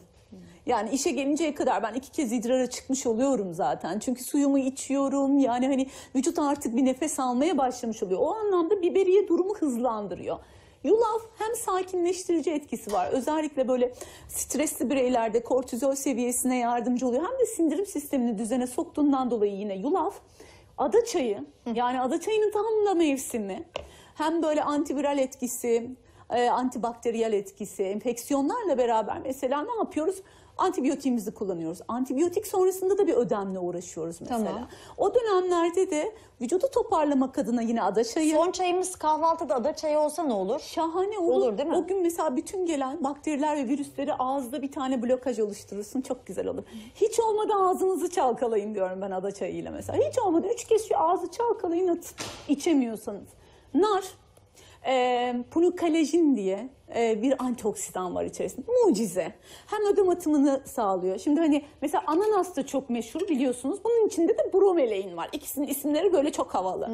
Bu da e, yine vücudunuzdan ödem atmasını sağlıyor ama şu daha yerel bir besin olduğundan kaynaklı. Bence narın memleketindeyken nar tüketmekte fayda var. Yalnız ben senin formülünü çok tuttum. Hmm. Yani bunların arasında sen onu yapıyorsan demek ki en çok o işe yarıyor gibi gibi. Hani şunun tazesini değil mi? Tazesi bir sap. Biberiyenin Evet. tazesini alıyormuş. Bu kadar mı su? Bu kadar suyun içinde bir sap bekliyor. Bazen bir dilim de limon koyuyorum. Sabah ilk suyum o oluyor benim. Tamam ama herhalde bir süre suyun onu İçerisinde bekliyoruz bekliyoruz. Zaten 3-5 çekmesini. dakika oda sıcaklığındaki suyun içerisine esansını bırakmaya başlıyor. Onu o şekilde içmekte fayda var. Ya da akşamdan da bırakabilirsiniz. Ama o ödemi atmaya çok yardımcı oluyor. Tamam, yapacağız Bir bundan de sonra. kereviz sapı. Bakın.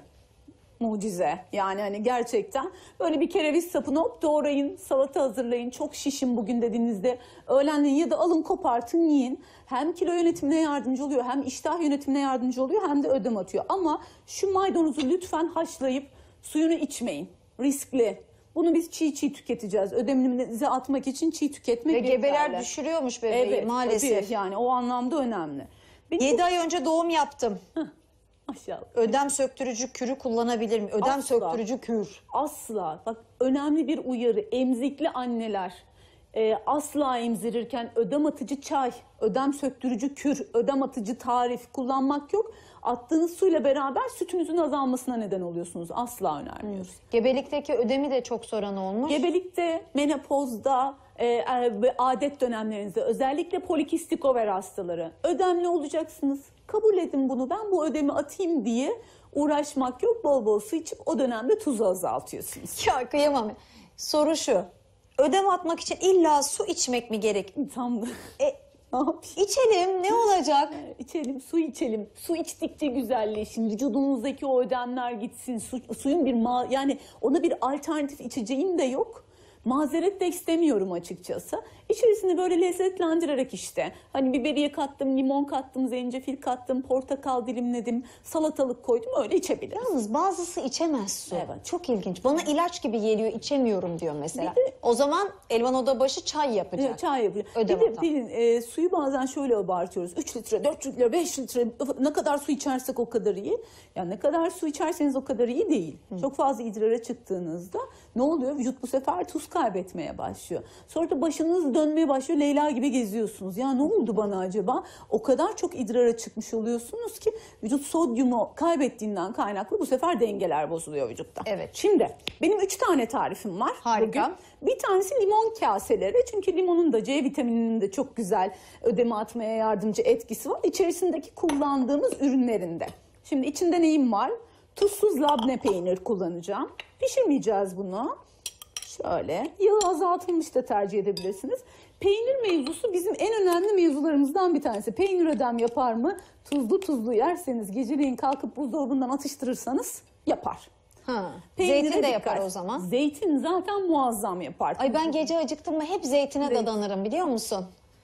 Peki acaba şey mi ki hani gerçekten hiç sodyumuna baktın mı? Ben sende hiç mesela ödem görmedim bu zamana kadar. O kadar beraber yayın geçirdik. O senin güzel bakışın şekerim nasıl maşallah- görmedim. Maşallah. Ben bile buradan böyle aşağıya bakınca Çok gördüm. iyi gözüküyorsun. Şimdi bunun içerisine ne yapacağız? Tatlandırmak için bal koyuyoruz.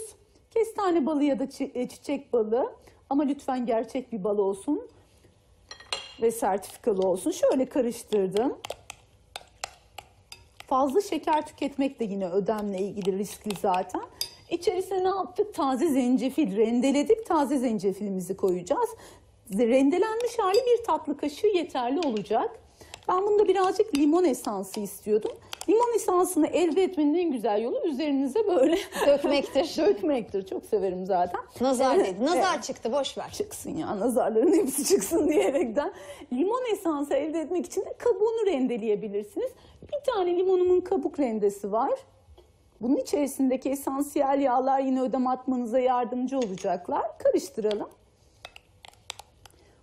Peki top tutması için ne yapacağız? İçerisine yulaf ezmesini ne dedik? Yulaf da yine ödem atmaya yönelik yardımcı oluyor. Yulaf ezmesini blenderdan geçirdim.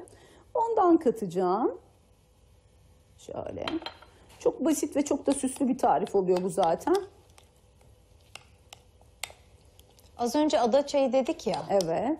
Ada çayı tansiyonu çıkarıyor mu? Tansiyon hastalarında çok fazla içilmesini tavsiye etmiyoruz ama bir fincanla hiçbir tansiyonla ilgili sıkıntı yaşamazlar. Bir fincanda problem yok.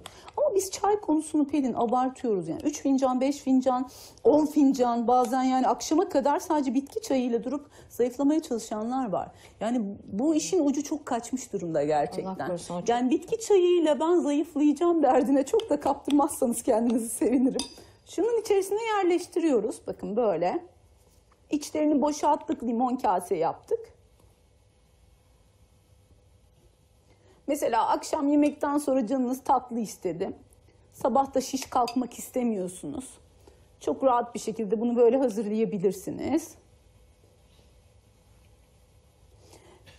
Tabii beslenmede en çok dikkat edeceğimiz konular tuzlu atıştırmalıklar. Mesela tuzlu kuru yemiş. Şimdi ben bunun üzerine güzel kuru yemiş koyacağım ama çiğ badem istiyorum. Yani özellikle kuru yemiş alışkanlığı da yine aynı şekilde ödem yapmaya neden oluyor. Bir de ödemin olduğu bölgeye göre yaşadığımız e, sağlık pro- problemi de değişkenlik gösteriyor. Yani yüzdeki ödemi veya dudak çevrenizdeki ödemi bazen bir alerji de temsil edebiliyor. Dudak çevresinde ödem mi oluyor? Tabii tabii dudakları şişiyor mesela kişinin. Gözleri, yüzü şişiyor. Bu sefer de mesela bakıyorsunuz o yataktaki e, şeyin em, kullandığınız çarşaftaki madde bile size alerji yapabiliyor. Hmm. O zaman da mutlaka bir alerji uzmanıyla da görüşebilirsiniz. Yani hem endokrinle görüşeceğiz. Bulamadık. Alerji uzmanına gideceğiz. Bulamadık. Kalp damara gideceğiz. Hatta ilk böyle bacaklarda şişkinlik varsa damar. Bunda da mı yok? Acaba böbrekler ne durumda? Fazla protein tüketmek de yine ödem yapıyor. Bana en çok ne yapıyor biliyor musun? Ne? Kısır. Kısır. Aa ciddi mi? Bir kısır yiyeyim muhakkak. Neden acaba? İçerisine acaba bir şey fazla mı katıyorsun? Yani çok tuzlu mu seviyorsun kısırı? Bence bulgur. Bulgur. Bulgur şişiriyor seni o zaman Evet biraz. bulgur. Bir de herkesin kendine göre herhalde iyi gelen besinleri, iyi gelmeyenleri var. Var. Var. Bulgur bende floralarımız kesinlikle farklı. bak kendinizi bir deneyin sevgili seyirciler. Bir seyircimiz demiş ki Aa, canım benim hemşireymiş nöbete giderken giydiğim ayakkabıyı nöbet çıkışı giyemiyorum diyor. Evet ay. Yani mesela hamileliğimde benim bir ayağım, şimdi benim burada sağ tarafta venöz bir yetmezliğim var ve varis tedavisi de aldım ben. Ee, ve hamilelik döneminde aldığım kilo ile beraber 7. aydan itibaren hormonlarda değişince sağ ayak gitgide kendi e, cumhuriyetini ilan etmeye başladı.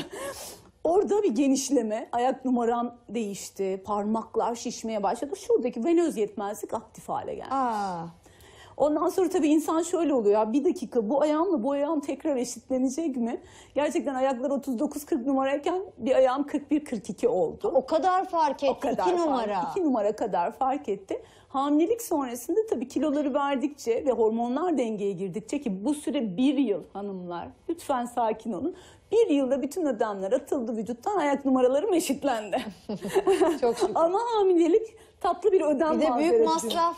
Ay evet ya. İki çift ayakkabı alacaksın Terlikle her gidiyordum seferinde. işe zaten yani. Bir seyircimizin ezberi şöyleymiş. Ben ödem için yeşil çay, soda, limondan oluşan dukan içeceği ve elma tarçın kürü yapıyorum. Doğru mudur? Elvan Hanım'a sorar mısınız? Peki mesela e, çok güzel bir şeyi hatırlatmış oldu bana böylelikle. Maden suyu konusuna değinelim. Maden sularının mesela sert maden suyunun sodyum içeriği yüksektir. Yüksek olunca da mesela 1 litrede 900 miligram kadar e, sodyum vardır ki böyle piyasada vardır üzerinde okuyun. Onlar ödeme ne yazık ki sebebiyet verebilirler. Ortalama 300 miligramın altında olmasında fayda var ama ben maden suyunu yeşil çayla bir araya getirdim ekstra ödem attım. Öyle bir etkisi yok ama yeşil çayın diüretik etkisi var. Günde 2-3 fincan içtiğimizde ödem atmaya yardımcı oluyor ama direkt ödem atmakla ilişkili bir tespit üzerinden konuşmak çok da doğru olmaz. Pelin Hanım kaçırdın mı? Emziren anne içmemeli mi? İçmemeli. Yok hayır. Emziren annelere anneler cüz. hayır diyoruz. Hamile annelere de cüs yani. Bu soruyu ben mi yanlış anlıyorum yoksa böyle mi? Diyor ki sabahları spor yapıyorum bende ödem oluşuyor ne yapabilir? Yani spor yaptığı için ödem olabilir mi? Aa, bir dakika o zaman şöyle bir şey var. Sporu gerçekten bazen yani vücudunuzun tolere edebileceğinden daha fazla yapıyorsanız bu ona neden olabilir. Olabilir mi? Yani orada bence bir spor yani uzmanıyla bir konuşsun. Yani yanlış bir şeyler yapıyor olabilir yani. Yoksa ya da sabahları şiş kalkıyor. Çoğumuz sabah şiş kalkıyoruz zaten. Onun için deriz ki uyandıktan 3 saat sonra tartılın. Hemen kalkar kalkmaz tartıya çıkıyorsunuz ki ya. O işte sabah en şiş haliniz. Acaba spor saatini mi değiştirsin? Değiştirebilir mesela. Hani bir de öyle denesin. Akşam yapsın. Ay sanki söylemek ne kadar. akşam yapsın. Hadi buyur Pelin sen yap. Ne Nasıl? sordu Pelin? Baksana Ay, çok güzel oldu. şık durmadın. Evet Elvan Odabaşı'nın kokteyline hoş geldiniz. Ee, Aynen şöyle koydum bunu buraya. Şimdi bunların üzerine zaten çiğ badem koydum. Şimdi diğer tarif daha da basit. Aslında humus yapacağız ama yeşil bir humus yapacağız. Çünkü nohutun da hem sindirim sistemi üzerinde hem de bitkisel protein olduğu için hayvansal proteinler ödeme sebebiyet verirken bitkisel proteinler işi kolaylaştırıyor. Onun için nohutla güzel bir humus yapalım dedim. Şöyle koyuyorum. Bu yöntemleri kullandıktan sonra nasıl anlarız ödemleri vücuttan attığımız? E işte şişlik gidecek nasıl anlarız? Böyle basıyorsunuz, bakıyorsunuz. Özellikle ayak üstü, ayak bileği, o bölgeleri bir kontrol edin bakalım. O önemli. Oralara bastırdık böyle 2-3 saniyeden daha fazla basılı kaldıysa zaten ödeminiz hala devam ediyor olur. Ki hani böyle kızarıklık, hassasiyet, yanma gibi durumlar varsa mutlaka kalp damar uzmanıyla görüşmekte fayda var zaten. Evet. Şimdi ben bu nohutumun içerisine nohutları haşladım. Ondan sonra içerisine yeşil soğan koyacağım. Şöyle. Hatta şu yeşil taraflarını koyacağım.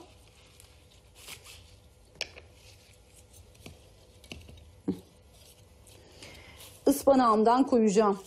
Çünkü yeşiller ödem atmaya yardımcı oluyor. Ama bir uyarı. Yeşiller ödem atmaya yardımcı olurken özellikle kan sulandırıcı kullanan kişiler bu kadar yeşil besinleri tükettiklerinde riskli olabiliyor. Onun için yeşil sular size cız, yeşil yiyecekler biraz uzak durunuz. Kan sulandırıcılardan yoksa kanama riskimiz artıyor orada da. Bir seyircimizin kötü bir tecrübesi olmuş. Diyor ki Elvan Hanım çok doğru söylüyor. Benim kızım zayıflamak için meyan kökü çayı içti. Neredeyse ölüyordu. Hastaneye kaldırıldık, kaldırdık çocuğu diyor. Vakalar var böyle Pelin. Ölüm vakaları var ya. Çok yani yansımayanlar da var ama biz arkada bununla çok uğraşıyoruz ya. Yani hani inşallah mesela önümüzdeki sezonda bunları konuşmayız diye umut ediyorum. Evet ama bunlar değişmez. Değiş- Ne ödem problemi değişir ne ödemden kurtulmak için çareler. Ben şunu bir zıt yapıyorum. Yap yap. Şöyle. Üzerine. Limon suyum var zaten. Zeytinyağımız olacak. Ölçülerini veriyoruz. Yaptıktan sonra paylaşın lütfen. Nasıl buldunuz lezzetlerini merak ediyorum. Sarımsağım da var. Şimdi mesela tuz meselesi de önemli. Tuzu fazla kullanmak evet ama mesela siz eğer ki bir Hashimoto tiroidi hastasıysanız yoklu tuz kullanmamanız gerekiyor. O da ödem yapıyor. Evet. Evin sıcak olması vücutta ödeme sebep olur mu? Evet. Sıcak soğuk hava değişimleri, mevsim geçişleri yine ödeme neden oluyor. Fazla sıcakta da şiş kalkarsınız. Çok soğukta da yine aynı şekilde. Güzel bir soru. O da Güzel bir önemli. soru evet. bir seyircimizin de bir seyircimizin de elleri böyle şiş kalkıyormuş ama aynı zamanda uyuşukluk da oluyormuş. Oo. Ödem uyuşukluk yapar mı Yani ellerde? şimdi şöyle uyuşukluk, yanma gibi hissiyatlar verebilir. Alt e, metni okumak için mutlaka hekim. Yani yanma, uyuşukluk, his kaybı bunları hissediyorsanız yani bunun altında nörolojik bir şey de olabilir. Yani bugün MS konuşuyoruz mesela. Yani ellerini kapatmakta zorlanıyordur ya da romatizmal bir problemi vardır. Kapatmakta zorlanıyordur, his kaybı vardır. Mutlaka nörolojik bir durumda olabilir değerlendirin. Veya basit bir çaresi vardır. Siz boşu boşuna bunları çekiyorsunuz. Hemen doktora. Bir de idiopatik diye bir ödem, ödem tanımlıyoruz. Ne demek idiopatik? Ya, ne demek Allah? nedeni belirsiz ödem. Bu da şey stresten kaynaklı oluyor. Birey o kadar stresli oluyor ki yani hayatı kafaya çok takanların çok ödemi oluyor gerçekten. Aa, aslında şöyle bir ifade var. Mesela bir şey anlatmaya çalışırsın, anlatırsın, anlatırsın. Karşıdaki ay içim şişti falan dersin. O değil mi o? Aynen. Çünkü ne oluyor biliyor musun? Kortizol salgılıyorsun. Böbrek üstünden hormon salınımı artıyor. Yani vücut da gerçekten stresi bir yere kadar tolere ediyor.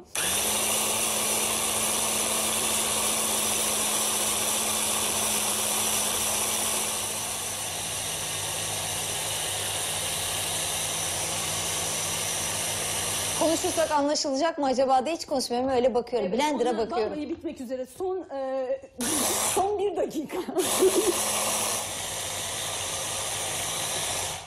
ya bu bence akşamları şahane bir böyle eşlikçi olarak da kullanılabilir. Daha katı olmasını istiyorsanız zaten bunu ne yaparız? Nohutu birazcık arttırırız ama içerisinde neler vardı? İyi yağ olarak tahin kullandım bir kere. Hani içerisine avokado koymanıza gerek yok. Tahin koyabilirsiniz. Bitkisel bir yağ kaynağı ve damar kalitenizi artıracak. Nohutum vardı, zeytinyağım vardı zaten ve evdeki minimum yeşillikleri kullandım. Onu hazırladık. Şöyle koyalım buraya. Ah canım göbeği hep şişmiş. O. Ee, hamile gibiyim ve artık insanlara hamile değilim demekten çok bıktım.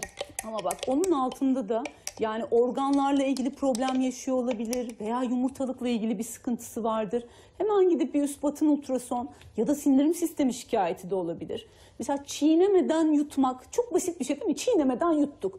Çiğnemeden yutmak şişkinlik yapıyor midede ve bu bölgede bir şişkinlikle karşı karşıya kalıyorum bu sefer de. Ve hızlı yemek Evet, herhalde. hızlı yemek. En çok konuştuğum konudur danışanlarımla. Yavaş, 20 dakikadan önce kalkmayacaksınız sofradan ve yavaş yavaş tüketeceksiniz. Bu da hazır. Hani siz e, insanları böyle ölçünce ne kadar kilo almış, ne kadar kilo vermiş, ne kadarı ödem, ne kadarı yağdan getirmiş. Onu nasıl anlıyorsun? Ee, aslında kullandığımız vücut analiz cihazlarıyla bunu yapıyoruz. Belirli bir elektrik akımı veriliyor ve vücudumuzun %65-70 civarında sıvı var sonuçta. O sıvının azlığına, çokluğuna göre o e, verilen akıma bir cevap veriyor vücut. Bir direnç gösteriyor. O dirençten de vücudumuzdaki yağı, suyu, kası hesaplıyor. Ha. Bu cihazlar önemli cihazlar. Yani sabahleyin kalktım pille çalışan bir tartının üzerine çıktım. Kaç kilo olduğumu tartmak aslında çok da reel değil. E, kilo probleminiz varsa sudan mı, yağdan mı, kastan mı kaybettiğiniz hikayesini ancak bir vücut analizi cihazıyla gözlemlersiniz. Bu da hazır. Tansiyon ilacı kullanıyorum. Her gün bir tane bu Elvan Hanım'ın, hanımın verdiği yeşiller tarifini kullanabilir miyim? Kullanabilir. Ödem şikayeti bazı tansiyon ilaçları ödem şikayeti yapıyor ne yazık ki. Ee, eğer ki doktoru bir diüretik vermediyse yanında tansiyon ilacının o zaman böyle hazırladığı tariflerden tüketebilir o da. Bir seyircimiz burun ameliyatı olmuş. Yüzünde ödem vardır onun. Evet. Hatta e, diyor ki burun ucu ödemini nasıl? Burun ucu ödemi için belli. Onun için limon sürmeyeceksiniz o bölgeye tabii dermişim. Yalnız söyleyeyim insanın burnu yani ameliyat ayrı muhakkak şişiyordur da ameliyat harici de insanın gerçekten burnu şişiyor. Burnu şişiyor. Hamilelik döneminde şişiyor yani böyle burun Aa, şişer, evet, gözler oluyor şişer. insanın burnu. Aynen öyle. Niye? E, hamilelik ödemi o tamamen hormonal bir durum. Ama ameliyat ödemleri de 6 ay ile 1 yıl arasında değişkenlik gösteriyor. Vücuttan uzaklaş. Yani ne yapsa da bir sene belki ödemi orada. Yok mu bir hareket, bir masaj, burun ödemini atan? Yani şöyle burunla ilgili kısmı bilmem de hani mesela işte meme kanseri geçiriyor kişi. Meme ile ilgili operasyon oluyor. Sonra o kolda ciddi bir ödem şikayeti oluyor. Onun için de işte profesyonel e, ve medikal masajlar devreye giriyor. Masaj çok önemli bu Öyle, arada. kesinlikle. Vücut ödemini atmak adına çok da güzel bir noktaya değinildi. Ve yani hani ağır morartıcı masajlar değil de gerçekten vücudu rahatlatıcı masajlar. Onlar ödem atmaya yardımcı da oluyor. Ama dediğimiz gibi operasyonlardan sonra zaten hekimler de öneriyor. Bir de Bu kol için çok önemli oluyor mesela. göz altındaki şişlikler için hani böyle buzlar muzlar bir yere bir şeyler işte salatalıklar ya da ha patates mi ne koyarlardı? Gözaltı morluğu için miydi o ne çay için? poşetleri Ha, falan onlar işe filan. yarıyor mu acaba? Onların tabii bir miktar etkisi var. Mutlaka cildinize uyguladığınız bir kere elle dokunmanın bile bir faydası var. Tıkı tıkı tıkı. Evet yani tabii buraya bir masaj yapıyorsunuz. Yine aynı şekilde kremleri devamlı dokunuyoruz burada. Tabii ki etkisi var. Vallahi çok şişince ben böyle sıkıyorum burnumu. Gerçekten. Ha şöyle ne olacak ki? Sık Ay bak. çok tatlısın. Deniyoruz. o zaman burnunuzu sıkın sana şeklinde. Şimdi bir Benden tane tavsiye. içeceğim var. Rezene çayı. Ha. Rezene Ay rezene senin senin sayende ben rezeneci oldum. İnanır Olduk mısın mu? vallahi? Çok mutlu oldum valla çok sevindim. Çünkü rezene gerçekten mucize. Sadece emziklilik ve hamilelik döneminde tüketmeyin. Çoluk çocuk, eş dost hep beraber rezene için. Hem ödem atıyorsunuz hem toksinleri vücudunuzdan uzaklaşmaya yardımcı oluyor. Çünkü hani organlar o vazifeyi daha rahatlıkla yerine getirebiliyorlar bu çaylar sayesinde. Ne yaptık? Güzel güvenilir bir paketten böyle bir çorba kaşığı kadar rezeneyi e, sıcak suyun içerisinde ama kaynamış suyun içerisinde değil, sıcak suyun içerisinde bir 5 dakika demledim. Demledikten sonra şuraya bir boşaltalım onu. Ekmek yediğim zaman şişiyor el ve ayaklarım diyor. Yani e, ekmek yediğinde şişiyorsa belki gluten hassasiyeti var mı kısmını değerlendirmekte fayda var ama ben çok her şeyi glutene bağlamak istemiyorum. Biliyorsun o konuda da çok ciddi hassasiyetim var. Bence yine bir hekim görüşü alsın. Sadece ekmeğe bağlı değildir yani. Hani ekmek yedim şiştim çok zor. E, limonumuz var içerisinde. Yarım limonun suyu. Yine güzel bir bal ekleyeceğiz. Bir çorba kaşığı kadar bal. Mesela bunu ne zaman tüketebilirsiniz? Bunu akşamları tüketmeyin, gece uykunuzu böleriz. Gece böyle idrara çıkaran içeceklerde sabahları yine gözlerinizin şiş uyanmasına neden olabilir. Onun için gece uykusu bölünmesin. Böyle sabah kahvaltıdan sonra bunu hazırlayalım, yanımıza alalım, öğlene kadar tüketelim. Bazen yayının başını kaçırıyorlar. Ay şimdi açtım şunu konuştunuz mu öyle mi böyle mi? Ee, biz genelde bazı bölümleri kesip e, İyi Fikir TRT Instagram hesabımızdan da paylaşıyoruz. Oradan da bakabilirsiniz. YouTube'dan da tekrarını izleyebilirsiniz. Arzu edersiniz diyelim ve bayıltmayalım diğer seyircilerimizi izlemiş olanlara tekrar tekrar sormayalım. Çünkü bazı sorulardan yeniden yeniden ve yeniden geliyor. Değil mi? Ee, peki hocam demiş bir seyircimiz. Hocam Buyurun. Bu tarifleri sürekli olarak mı tüketmemiz gerekiyor? Yani tüketmezsek ödem mi olacağız? Yok sürekli olarak değil. Burada örnek veriyoruz zaten. Her gün ödeminiz varsa ne dedik? Doktora gidin öncelikle yani. Hani vücut çünkü o ödemi yönetmekle ilgili bir kabiliyete sahip zaten.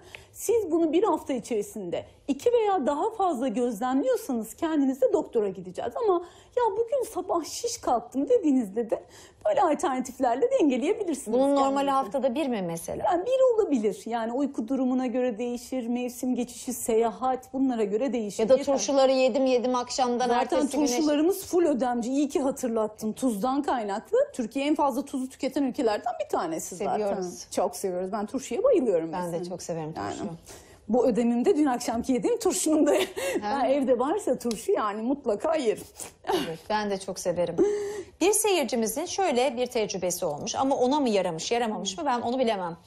Ee, ben diyor burun ameliyatı olmuştum. Kantaron yağı ödemi saatler içinde gideriyor. Morlukları ve şişlikleri de birkaç gün içinde geçti demiş. Vallahi şanslıymış herhalde seyircimiz. Kantaron yağı işe yarar mı? Sarı kantaron yağının zaten bir rahatlatıcı etkisi var aslında. Ama şöyle bir şey var ona da dikkat etmekte fayda var. Yani mutlaka cildinize uyguladığınız yağların ciltle ilgili bir problem yaratıp yaratmadığını bir dermatoloğa sormak lazım. Sonra ciltte Evet. bir alerji Evet.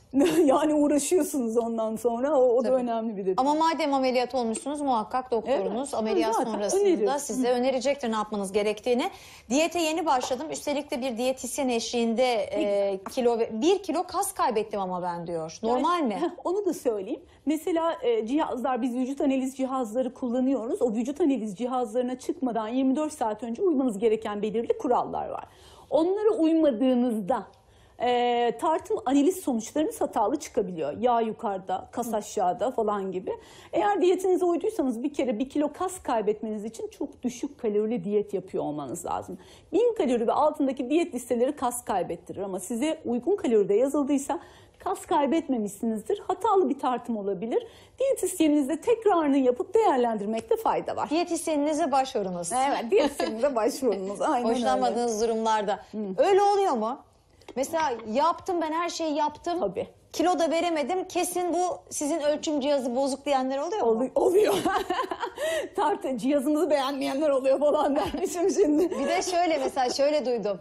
Ee, cihazı resetlemişler ondan öyle oldu. ya çok Anladık aynı kişiden bahsediyoruz. Evet. Diyorum, cihaz suçlu olsun boş verin siz yeter ki diyete uyun yani başka bir şey istemiyorum günün sonunda iyi oluyoruz çünkü.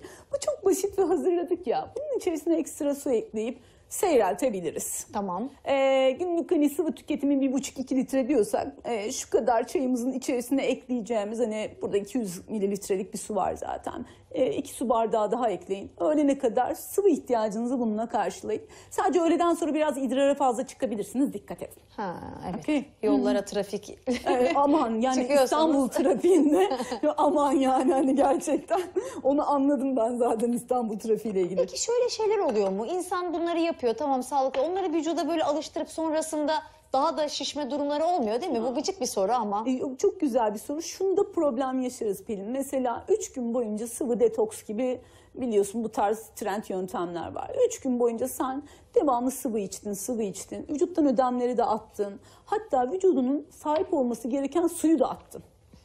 Bunun mutlaka geri dönüşü var. Yani hani ondan dolayı böyle o üç gün içerisindeki ani kilo değişimlerine aman kanmayın diyoruz. Ee, bu tarz yiyeceklere alışıp alışmaması sorun değil. Zaten bunlar hep mutfağınızda olan şeyler. Hep tarifleri verirken de lokal olmasına özen gösteriyoruz. Evde aman bulunan tarif olsun. Yani hayatınızda zaten limon var. Tabii. Hani e, peynir vardı ya gidin biraz tuzsuzunu alın labneyi kullanın diyoruz. E zaten şu nohut hepinizin dolabında var. Hadi gel bunu yeşillikle tahinle bir araya getirelim.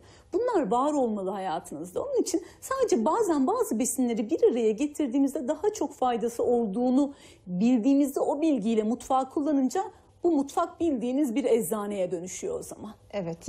Neyi neyle yiyeceğiz, Evet. hangi saatte yiyeceğiz, Evet. hangi durumda yiyeceğiz onlara bakarsak. Ee, kan sulandırıcı kullanıyorum. Ee, biliyorum ki bitki çaylarını seviyor Elvan Hanım. Hangisini bize önerir, hangisi bize göre? Ya ben kan sulandırıcı kullananlara çok fazla böyle açıkçası bitki çayı önermiyorum. Daha böyle sakinleştirici çaylar olarak hani melisa falan içebilirsiniz. Ya da meyve çaylarından içebilirsiniz. Ama günde bir iki fincanın üzerine çıkmayın. Çünkü kan sulandırıcılar e, gerçekten böyle hani mesela bir de kan sulandırıcı dışında şunlarla ilgili de uyarıda bulunabilirim. Mesela veya kan yağlarınızı dengeleyicilerle ilgili işte greyfurt falan tüketmemeniz lazım. Bunlarla ilgili de mesela tamoksifen kullanan meme kanserinden sonra tedavi alan bireylerde ilaç etkileşimi, ilaç gıda etkileşimi dediğimiz bir şey var. Onun için çok fazla bitki çayı, çok koyu yeşil yapraklı yiyecekler ve çorbalar, içecekler uzak dursun. Özellikle otobüs yolculuğundan sonra ben e, çok şişiyorum diyen bir seyircimiz var. Evet doğrudur. Çok oturmak mı acaba orada problem? E, Orada da şunu söylüyoruz. Yani hani mesela 8 saatlik bir yolculuğunuz varsa her böyle hani 2 saatte bir şöyle birazcık kalkıp bu koridorda ya yürümeye çalışın. E, otobüs seyahatinde dağıtılan böyle tuzlu gıdalar veya işte içerisinde olan böyle e, tatlı gıdalar, şekerli o tarz gıdaları tüketmemeye çalışın ve bol bol su için lütfen. Tamam mı? O da önemli. Tamam. Bir tane daha içecek yapabilirim istersen. Olur yapalım. Tamam şöyle. Allah'ım maydanoz ve limonu çay olarak ya o kadar çok geldi ki e, yeniden sormak durumundayım kabul ediyorum. Evet. Yani şu maydanoza çok alışık bir kere hamileler kesinlikle içmeyecek çünkü düşük riski Evet, olduğunu aynen. söylüyor. Maydanoz limon maydanoz ne kadar maydanoza ne kadar limon ne diyoruz bu maydanoz limona bu Ben, çaya e, ben artık- gerçekten yine aynı şekilde maydanozu güzel ince ince kıyınız efendim. Salatanın üzerine koyunuz, limonu sıkıp tüketiniz. Bunların sularını içmeyiniz. Gerek yok. Ve zaten şunu da unutmayınız. Bir gıdayı çiğneyerek tükettiğinizde beyne tokluk sinyali gidiyor. Çiğnemeden yutarak tek doyduğunuz bir gıda var o da anne sütü. Başka içerekten tok kalacağım, zayıflayacağım içeceklerinden uzak durun. Çok net. Evet kesinlikle. Evet. Bu arada anne sütü deyince çok acayip bir şey öğrendim dün yayında. Ee, kraliçe arı var ya. Evet. Diğer arıların dışında bütün arılar onu e, arı sütüyle besliyormuş ve hayatı boyunca arı sütü. O yüzden 6 sene yaşıyormuş. Diğer normal arılar çok kısa süreli arı sütü aldıkları için onlar 45 günde ölüyormuş. Ne acayip bir şey değil mi? Ve e, gerçekten arı sütünün bizlerde de bağışıklılık, genç kalım süresi, e, doğurganlık bunların hepsinin üzerine olumlu etkisi var. Ama Hani- hepsini biliyormuşsun Evet. sen Elbancığım. Ama- Ama, ama, ama yani hakikaten. ama ders çalışıyorum ben. Evet. Çok çalışım geliyor. Sütün yoğurdun hiç ödem yapıcı özelliği var mıdır? Aa, yok şöyle söyleyeyim. Eğer ki hani herhangi bir laktoz intoleransınız yoksa o şişkinlik yapar, ödem yapmaz, gaz Evet. yapar zaten. Ama yoğurt da yine aynı şekilde e, ödemle ilgili aynı labne peyniri nasıl kullandıysam vücuttan ödemi uzaklaştırmak adına kalsiyum mineralinin yine çok önemli bir e, görevi var. Onun için olacak hayatınızda orada. Evet. E, o Helsinki'den yazmışlar. Teşekkür ediyoruz biz de. Helsinki. Aa, Aa, süper. gerçekten. E ben geliyorum. Helsinki'ye geliyorum ben zaten. Ne zaman? Ne zaman gidiyorum? Şeyde 18 Ocak'ta gidiyorum. Gerçek- 19 Ocak'ta. şey mi? Kızımla Turistik- beraber gidiyoruz. Aa, ne Evet. güzel, ne güzel. E, şu zencefil, evet zencefilli su yapıyorum ben diyor. Salatalık, maydanoz, limon, kabuk tarçın, karanfil, zencefilli su yapıyorum. 3 litre her gün içmeye çalışıyorum. Ne kadar aralıklarla içmeliyim 3 litreyi? Ya şimdi oradaki malzemeleri bir tekrar söylesene bana. Ne? Salatalık, Evet. maydanoz, Evet. limon, kabuk tarçın, karanfil, zencefil. Peki bunları bir blenderdan falan geçirmiyordur umarım. Blenderdan geçirmiyorsan ve hani bunu bence bir litre suda yeterli. Bir litre suyun içerisine bunları şimdi ben de öyle bir şey hazırlayacağım. Mesela ne yaptım? 3 sap kereviz dilimledim. Böyle dilimledim ki aroması geçsin diye. İçerisine biraz ananas koyacağım mesela. Tamam. Taze zencefil koyacağım. Bunu mesela bir litresini tüketebiliriz ama her gün her gün bu tarz şeyleri içmekte de ekstra bir fayda sağlamayacağız. O herhalde her gün 3 litre suyu ancak böyle kendine yaparlar ya. Yani ben de bir dönem yapmaya gayret ettim de öyle de olmuyor. Yanında taşıyorsun, taşıyorsun, Yok. taşıyorsun. Ay bir yerde sıkılı veriyorsun, onu bırakıyorsun. Evet yani hani bir de e, ısıya ve ışığa maruz kaldığı için lezzet bozulmaya başlıyor. Onu da istemiyoruz. Vitamin mineral kaybı da başlıyor. Şimdi ben şöyle bir şey hazırladım mesela. Buradaki malzemelerle. Kerevizimi koydum. Ananasımı koydum içerisine. Bunu isterseniz mesela taze biberiyem olabilirdi. İçerisine taze biberiye koyabilirdik. Şöyle limonumuzdan dilimleyelim. Hani evde buluş yapmak istiyoruz mesela. Ben az önce zaten listeyi verdim size ödem atıcılarla ilgili. O ödem atıcılardan böyle güzel bir tane kendinize su hazırlarsınız. Bunun içerisine bakayım buradan ne katabiliriz. Mesela iki parça karanfil atarsınız. Bir tane de kabuk tarçın atarız. Üzerine de suyumuzu ekleriz. Evet biz de bunları İyi Fikir TRT Instagram hesabımızdan paylaşırız ve hemen reklama gideriz. Gider miyiz? Evet Gidelim. haydi reklamlar. Ay şundan yiyesin. İyi fikir, iyi fikir. Ve sevgili seyirciler bugün de nokta alıyoruz. Bugün çarşamba gece gündem ötesinde görüşeceğiz inşallah. Yarın da 12.30'da yine bu stüdyoda bekliyor olacağım sizleri. Erol Evgin'le veda ediyoruz. İşte öyle bir şey.